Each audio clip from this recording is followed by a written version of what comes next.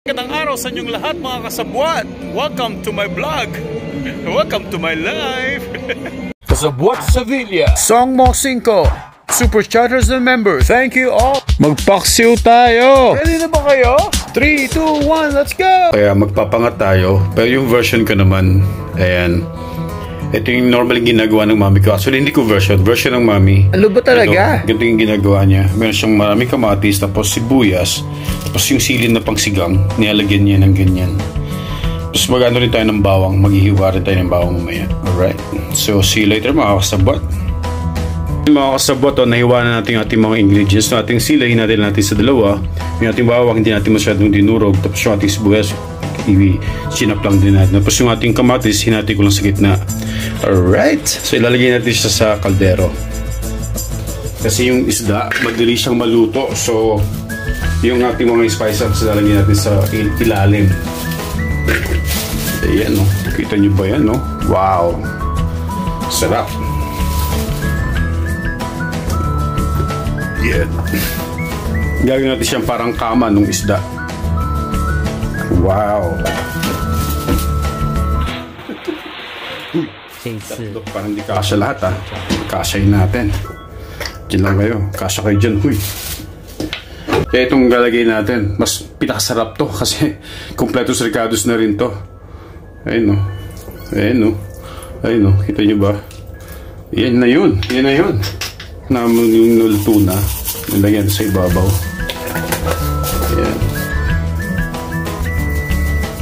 Isang factor na pagpapasok ng pagkain natin na yung paminta. So, dagdagan natin. Siyempre yung ating magic sarap. Magic sarap, baka naman no. Tagal ko nang ina-endorse itong product ninyo. Gusto nyo akong padala ng kahit ilang pack lang nito. Uh, appreciate it. Ayan, konti lang. Konti na lang laman nito kasi ginagamit. Malaking sachet ito eh, malaki siya. So ayan, lagyan natin ng asin. Konting asin lang kasi lalagyan natin siya ng patis.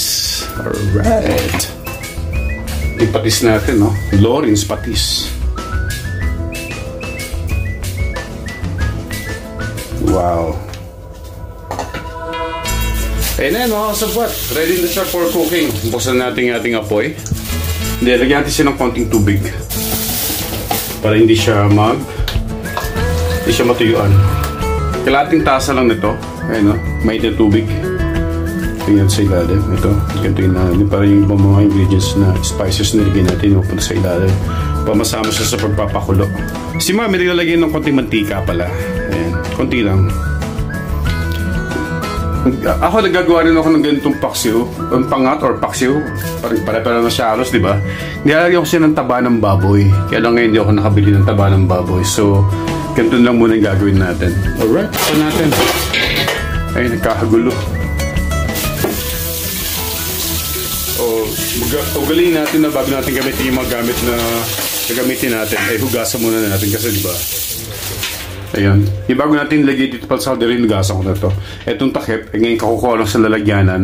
Although hugas na siya, pero might as well, hugasan pa rin natin. Baka kasi diba, may gumapang na kung ano-ano dyan. Pero siguradong ano, hindi, hindi tayo ma, ano, food, food poison.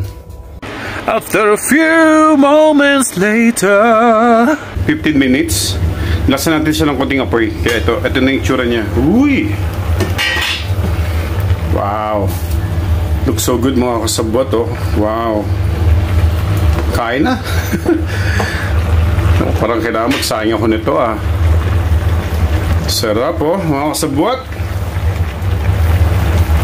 Sige lang, hayaan lang natin siyang kumulo ng kumulo. Lagyan natin itong isang isda para medyo ma mapakuluan din siya. Ayan. Wow. Ang sarap dito mga kasabot. Ayan, natutunan na yung ating kamatis. Yum, yum, yum. Nako. Papapakain tayo ng madami yan. So, balikan natin ulit mga kasabot. Kaya pa natin siya kumulo ng kumulo. Kasabot, oh. Grabe. Oh, saan ka pa? Sarap nito. Sigurado. Hmm, tumutuloy ng laway ko kasi medyo matagal-tagal tayo hindi nakapagluto ng ganitong mga pangat, mga paksiw. Ito na, ito na, nakikita kay DJ Emma, DJ Emma. love, love, love DJ Emma, ayan o. Naalala ko magpangat dahil sa'yo, nakita ko yung video mo. Very nice oh, wow. Tatarit mga kasabwat. Eh no, yung paminto, nandiyan po. Uy, alright.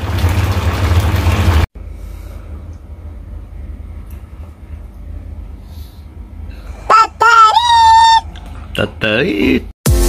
Mga kasabwat, thank you for watching. If you like this video, don't forget to like, share, comment, and subscribe.